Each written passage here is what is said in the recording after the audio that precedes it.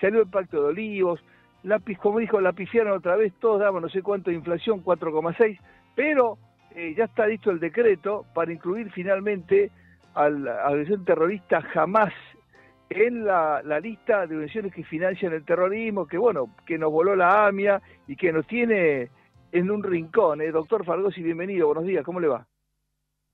Está Nacho. Eh, bueno, hay de todo, pero me gustaría arrancar con esto. ¿no? Ya le pidió eh, Ministerio de Seguridad a Justicia y a Cancillería que lo haga. Parece que van a publicar el decreto en el boletín el 17, un día antes de la voladura, 30 años de, la voladura terrible, ¿no? 87 muertos en de la AMIA, eh, y era ahora, ¿no? Porque el que Tejedi miraba para otro lado, que se fue, ¿no? Sí, es, la verdad es una, una gran noticia, como todas las noticias en la Argentina, excesivamente demorada, pero bueno, fijemos lo que tenemos. Eh, al fin un país que fue asolado por el terrorismo como la Argentina, porque primero fuimos asolados en la década del 70 por el terrorismo. Nosotros, es bueno que los jóvenes lo sepan, tuvimos más atentados terroristas y más muertos en manos del terrorismo que España, Alemania e Italia, que tuvieron a las bandas eh, Brigada Roja, Baden-Meinhof, la ETA, o sea, nosotros la pasamos realmente mal, pero como acá se oculta todo, ese tema ha quedado sepultado, así como quedó sepultado los atentados contra la Embajada de Israel y la AMIA, en la que desgraciadamente los gobiernos que tuvimos desde entonces nunca se atrevieron a hacer nada. Bueno, Milei lo prometió y lo está cumpliendo, así que felicitaciones por partido doble. Doctor, usted conoce el derecho internacional, ¿qué implica incluir en una lista oficial de nuestro gobierno, Cancillería, Justicia, Seguridad, a una organización como esta que marcadamente terrorista, que siembra el terror. Es más, ahora hay una acción militar de las fuerzas de defensa para dar con el ahora cabecilla de Hamas en el sur de, de, Hamas pero, eh, o en Gaza. Pero ¿qué significa incluir a esta organización en ese grupo de terroristas? Eso, por supuesto, es un gesto político muy importante, queda claro, o sea, al pan se le llama pan y al vino se le llama vino. no es una tendencia política de, de, los países islámicos, sino que son sencillamente unos criminales, homicidas y genocidas, eh, y además tiene repercusiones en lo que hace a la, la, obligación de capturarlos si pisan suelo argentino, la obligación de congelar fondos si se descubren en suelo argentino, eh, la de colaborar con otros países en esa búsqueda, en fin, tiene se convierte en delincuente, va. O sea, pasan a revistar en la categoría de delincuente con todo lo que se implica. Contanos eso, doctor, no incluir, ¿qué países no incluyen a estos grupos en esa lista? Digamos, ¿cuáles son los, que dicen, no, no, jamás y la yihad no son terroristas, son buenos, como decía Piluso? Eh, imaginemos, en Nicaragua, Venezuela, Cuba, la Unión Soviética, es decir, son países, o Rusia, digamos, como se lo llama hoy en día, como se llama todos los países que eh, eh, han, han tomado las banderas que dan impunidad, como diría Néstor Kirchner, otro impune, eh, que son las banderas de la izquierda, y entonces se prenden en toda, en, en toda mm, actitud que desafíe el orden establecido. Todos estos países necesitan demoler a Occidente, porque en Occidente no sobreviven estos personajes. Occidente es democrático, eh, se basa en la libertad. Estos tipos no, no la pueden, no pueden convivir con eso. Entonces, ¿qué hace? Todo lo que afecte las raíces de Occidente lo aprueban. Están en contra de Israel, están en contra de la meritocracia. cada vez que aparece una idea que altera el orden en el que nosotros podemos vivir de libertad y de trabajo, estos tipos se prenden. Entre otros, Exactamente. Exactamente. Parece mentira, pero ¿cómo todavía no nos dimos cuenta, no? Que apuntan a eso, ¿no? A socavar las bases del, porque digo, Israel es Occidente. Vencido Israel, borrado la faz de la tierra, como dice Irán, es Occidente el que cae. Después van a venir por nosotros, por los cristianos. Pero es que por eso lo hacen. Porque, eh, eh, fijémonos, por ejemplo, todos estos grupos de LGBT y demás. ¿Por qué apoyan estos sectores? Porque van precisamente contra los modos de convivencia más maravillosos que tuvo la historia de la humanidad, que son los modos de convivencia del de Occidente actual. El Occidente actual es una maravilla, el Occidente actual llega a ser tan maravilla, y esto es curioso, que se está suicidando. Porque ha llegado a un grado tal el occidente que conocemos hoy en día, a un grado tal de respeto por el prójimo, que respeta a los que lo quieren eliminar, que es lo que pasa con los musulmanes y con los eh, nuevos invasores de Europa. Pero claro, los europeos, y es muy interesante hablar con europeos, yo lo hago cada vez que puedo, ellos no logran entender que tienen que defenderse. Dicen, no, pero, pero si, si, si mi sociedad parte de la premisa de amparar al desamparado, de proteger al débil, sí, ok, todo muy lindo lo tuyo. Fíjense lo que está pasando, eh, Nacho, fíjense lo que está pasando con, con todos los inmigrantes que están invadiendo Europa. ¿Por qué digo invadiendo? Porque no van mujeres con chicos. No, van, jóvenes en edad, en edad de combatir. Esto no es broma, ¿eh? No, no, y ya no saben qué hacer además. No, la, la isla de Lampedusa es un testigo, ¿no? Eh, es, es una muestra. Lampedusa desborda ya de, de gente que no saben qué hacer con ella. Eh, eh ahora estaba pensando una cosa, ¿no? Que eh, estas asociaciones LGTB y todo eso, ¿por qué no marchan por Teherán? ¿Por qué no marchan por La Habana? A ver cómo les va. Pero esto ha sido siempre, esto ha sido siempre así, Nacho. Es interesante lo que usted dice, porque hay mucha gente que no lo percibe. Eh, todos estos eh, contestatarios, como se los decía antiguamente, me gusta usar palabras que, tuvo nuestro idioma para ver si las recuperamos.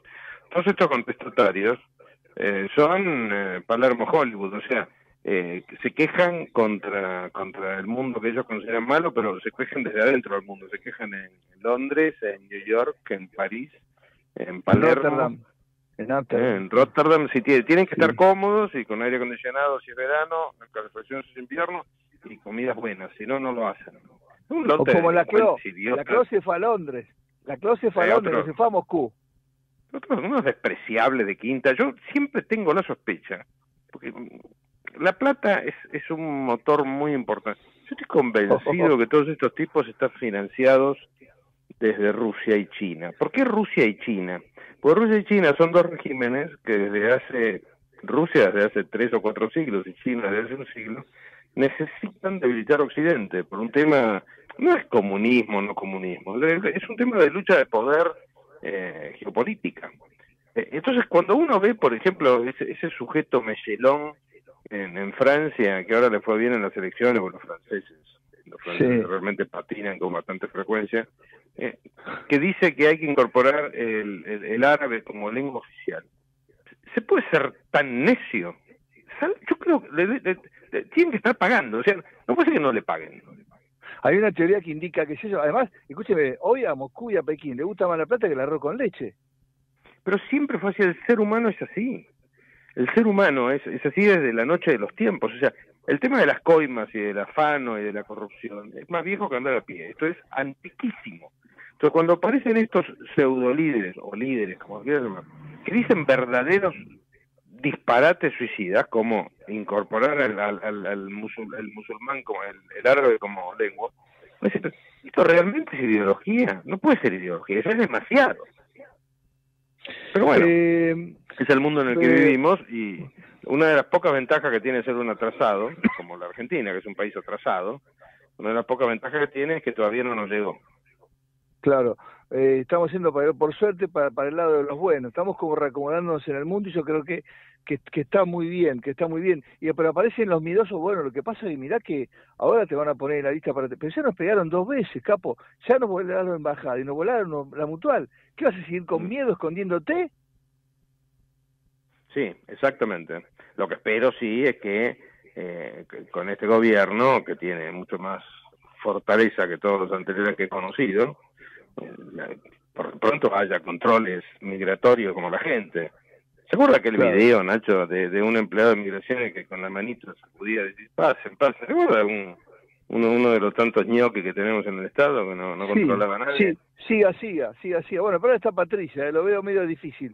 Eh, lo veo, ojalá que yo le tengo mucha fe. Eh, doctor, bueno, llegó finalmente, alumbró en, en julio el Pacto de Mayo, aunque algunos como el soviético no fueron. ¿Qué opina? creo que es algo imprescindible porque un poco de un poco de apariencia de acuerdo tiene que haber repito apariencia de acuerdo no tenemos que olvidar que la, clase política es una clase bastante deficitaria de valores en la Argentina en la Argentina y en el mundo pero nosotros estamos en una época negra de la historia y muchos de los que están ahí están ahí porque necesitan que el gobierno les tire plata para seguir gastándola en cosas donde coimean repito, necesitan que el gobierno les dé plata de la nuestra, los impuestos, para ellos hacer obras con las que coimean. Digámoslo claro, porque si no estamos perdiendo el tiempo. Ahora, por lo menos fueron. Hay otros que igual lo hacen, porque igual curran, pero encima no van. Lo, quizás el, mayor desafío, desde mi punto de vista, que tiene la Argentina, es ver de qué manera los líderes políticos que no son del PJ logran convencer a alguien de todos esos votos que tienen encadenados los, los, peronistas, que lo siguen votando y votando para seguir pasando hambre, pobreza, desnutrición, inseguridad. Ese votante de la matanza, por ejemplo, ¿qué tiene? O sea, ¿cómo, cómo uno logra convencerlo? Porque no es una mala persona, seguro. la inmensa mayoría de la gente es buena. Esto es una, es una premisa, porque si no nos estaríamos matando por la calle. La inmensa mayoría de la gente es buena. ¿Qué lleva a esa a esa inmensa mayoría dentro del treinta y pico por ciento de fierro que tiene el peronismo? ¿Qué lo lleva a votar a gente que los tienen sumidos en la basura desde hace 80 años?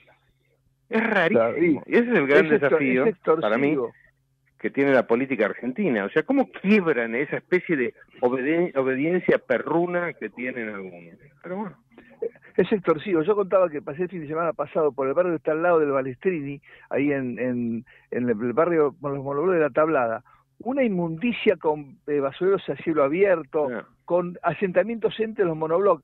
Me contaron que por, por la boleta, por el tren fantasma de las boletas, no del, que, tiene hasta ahora el peronismo, como se vota en Argentina, y no a la boleta única, no a la ficha limpia y demás, eh, ahí ganó Espinosa, este, este abusador sexual, ganó el soviético, pero ahí anduvo muy bien mi ley.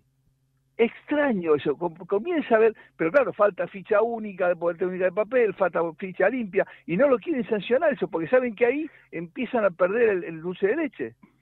Para mí, para mí, pero, eh, pero yo no le gané a nadie, o sea, es solo una sensación una de las cosas que explica el fenómeno de Milley es, pongámonos en, el lugar de cualquiera de estas personas, que no ha tenido la suerte inicial, por lo menos, porque nosotros tuvimos por lo menos una suerte inicial, una cierta educación esencial en nuestras casas, acceso a una educación un poco mejor, eh, no teníamos hambre esa noche con seguridad, o sea, no hay que ser injusto con esto, hay que entender cuáles son los, para ponerlo en términos de computación, los motores de búsqueda de, los ciudadanos. El motor de búsqueda de gente como usted y como yo es pasarla mejor, mejorar, progresar. El motor de búsqueda de una persona que no sabe si come esa noche es comer esa noche.